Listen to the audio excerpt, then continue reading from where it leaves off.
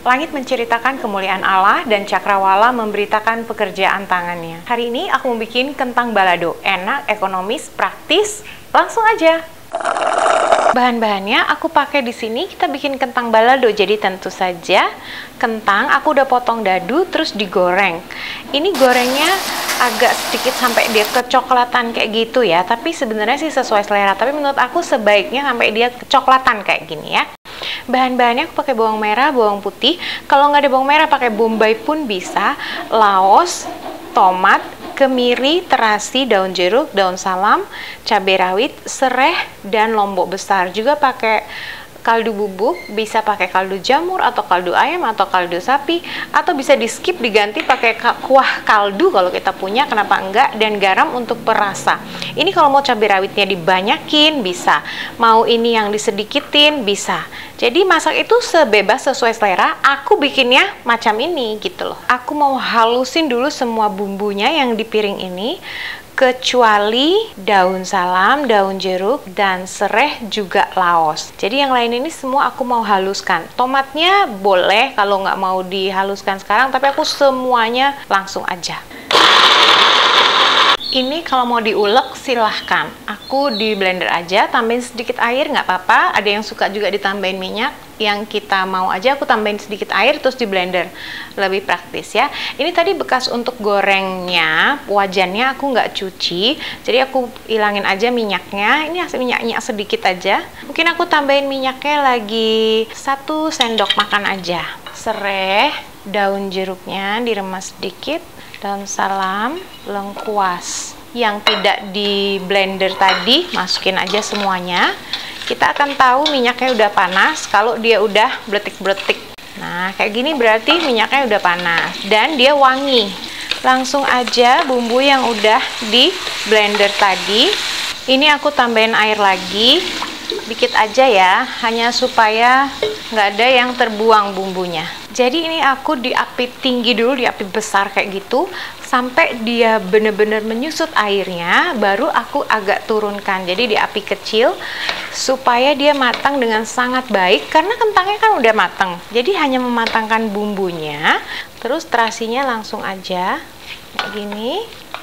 Hmm, mantap nyu ini udah wangi banget.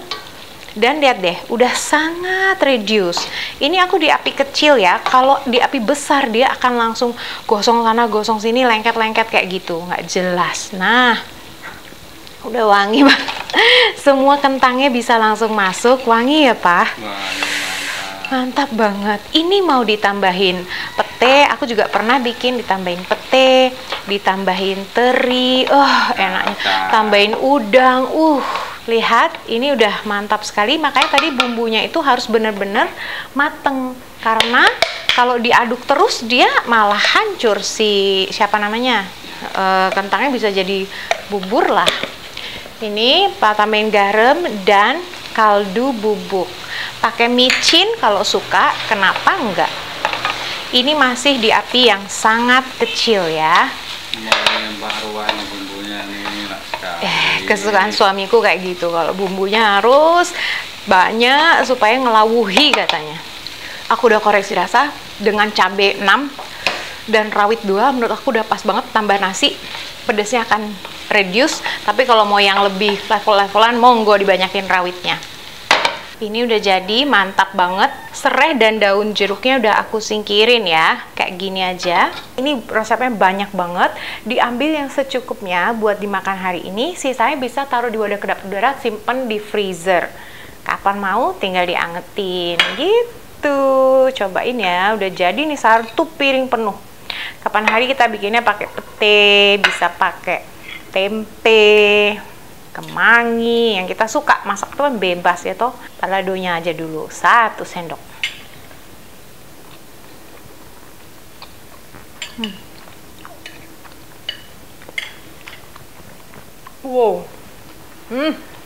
Oh enak banget.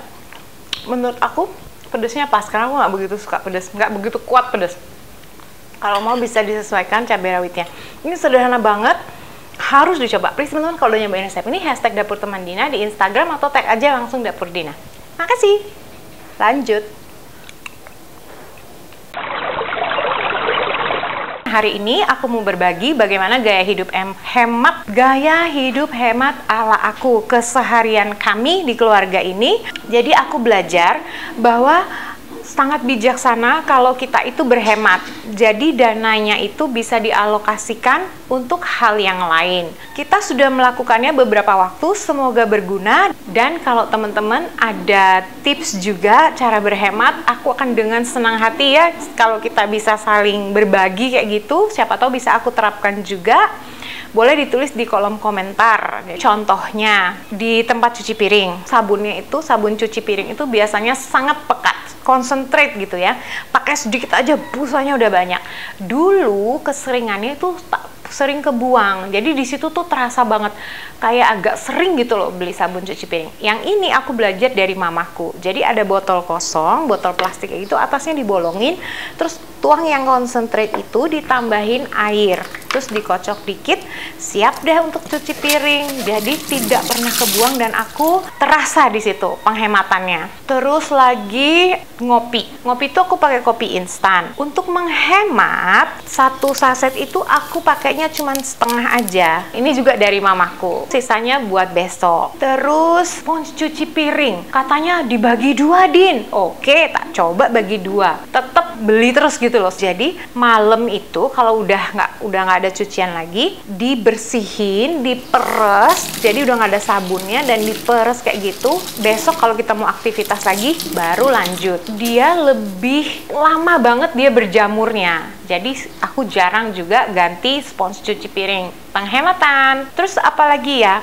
Air AC. Aku pakai uh, tadahan air AC itu aku pakai bekas cat, ember bekas cat yang besar kayak gitu. Aku pakai untuk nyiram tanaman hias. Nah, terus kok pakai AC yang jadi boros dong sama aja. Aku pakai AC itu enggak yang jebret terus seharian atau semalaman. Dulu mungkin seperti itu, tapi kita belajar berhemat. Kalau memang sumuk, kalau memang harus nyalain sebelum tidur, 1-2 jam aja cukup masih ada hawa sejuknya itu begitu dimatiin langsung nyalain fan lebih hemat sangat hemat di listrik dan air sisa pembuangan AC-nya itu buat nyiram tanaman hias. Terus e, sabun untuk cuci pakaian. Biasanya kalau aku beli yang besar itu brio gitu di dituang langsung gitu ya di mesin kayak gitu. Nah, aku juga belajar di situ bahwa kalau pakai takaran itu lebih hemat. Jadi aku cari yang kira-kira pas. Jadi aku ukur dulu. Oh kalau kayak gini terlalu banyak dia busanya. Kalau kayak gini oh kurang. Aku menemukan ada itu sebenarnya measurement yang aku akhirnya singkirin aja buat khusus buat itu. Kalau mamaku pakainya takarannya itu cup bekas ice cream. Apa pun yang kita bisa pakai, apa pun yang nyaman buat kita lakukan menurutku itu pasti bagus.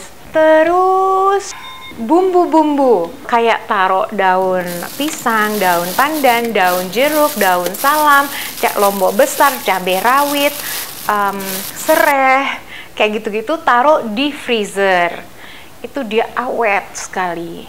Aku itu sangat jarang setrika. Dulu setrika itu kayak harus gitu loh sekarang jadi kalau dia lagi panas kayak gitu, diambil dari jemuran itu kalau langsung dilipat, terutama kayak kaos, baju tidur yang sehari-hari dipakai kayak gitu, sebenarnya lagi panas-panas kayak gitu, dilipat dia langsung bagus gitu tanpa harus disetrika. Kalau habis pan apa habis dari jemuran tuh dijebretin gitu aja, baru dilipat dia akan lecek dan kurang bagus hasilnya. Itu juga aku dari mamaku. Mudah-mudahan berguna dan kalau teman-teman siapa tahu juga ada yang tips, aku yakin ya pasti deh kita semua punya cara yang bijaksana menyikapi hal-hal yang keseharian kita kayak gitu. Segitu aja. Terima kasih banyak teman-teman yang sudah meluangkan waktunya hari ini mendengarkan ceritaku. Sampai ketemu di video-video aku selanjutnya.